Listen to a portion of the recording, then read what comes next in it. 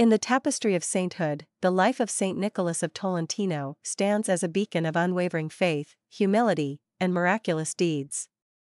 Born in the small town of Sant'Angelo in Pontano, Italy, in the 13th century, Nicholas dedicated his life to serving God and his fellow beings.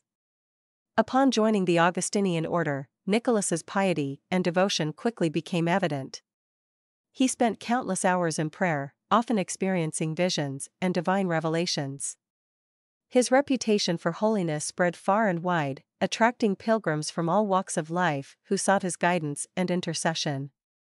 One of the most remarkable aspects of St. Nicholas's life was his ability to perform miracles.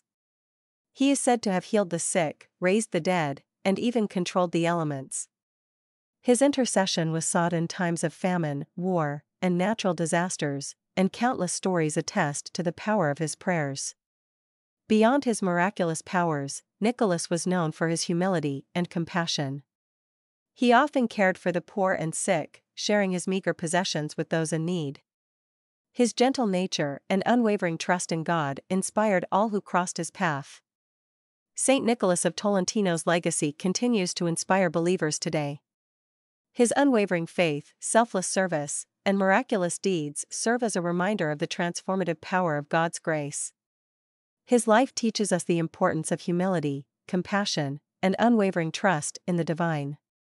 As we reflect on the life of this extraordinary saint, may we be inspired to live more Christ like lives, serving others and glorifying God in all that we do.